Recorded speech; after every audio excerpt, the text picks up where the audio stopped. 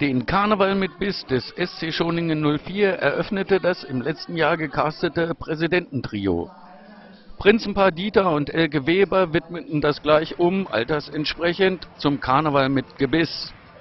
Nach dem Tanz der Prinzengarde begann ein bunter Reigen mit Sketchen, zum Beispiel mit Bauer Hein, Matta, Lisbeth und so nem Typen, den Rettungsringen aus dem gefährdeten Uslarer Badeland sowie dem Eichelkreis, die eine Pressekonferenz spielten.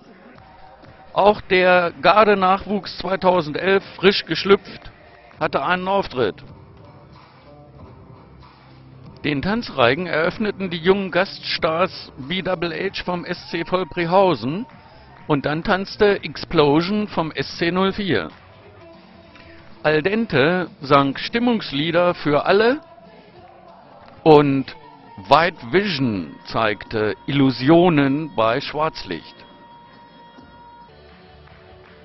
Partytänze wie We No Speak Americano brachte die Gruppe pure Action, bevor die Donnerstagsmänner als Piloten langsam Richtung Finale abhoben. Der Spaßtanz der Don Promillos heizte dem Publikum nochmal so richtig ein, bevor alle Beteiligten mit ihrem begeisterten Publikum ein großes Finale feiern konnten